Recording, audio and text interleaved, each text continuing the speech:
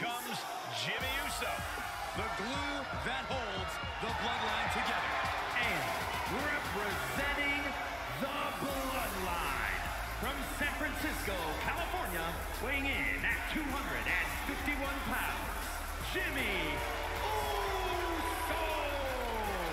Jimmy and Jey Uso have single-handedly transformed team division. You know, and if you ask them what made the difference, what made you guys step up your game, Jimmy and Jey will tell you it was the moment we decided to stop being what other people expected us to be and to start being